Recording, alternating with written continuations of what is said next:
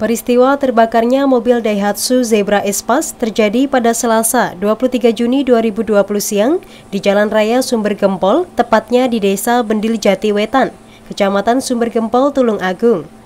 Menurut informasi di lokasi, mobil yang berjalan dari arah timur ke barat tersebut tiba-tiba terbakar, kemudian menabrak pohon mahoni di pinggir jalan.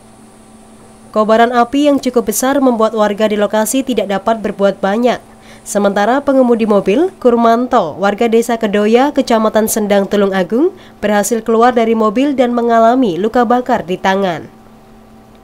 Tiga unit mobil pemadam milik Pemkap Tulung Agung diterjunkan ke lokasi untuk memadamkan api. Kapolsek Sumber Gempol, AKP Inengah Suteja mengatakan, akibat kebakaran tersebut pengemudi harus menjalani perawatan di rumah sakit. Sementara itu dari hasil penyelidikan, diketahui mobil ini mengangkut tiga drum bahan bakar minyak dan lima tabung gas LPG 3 kg.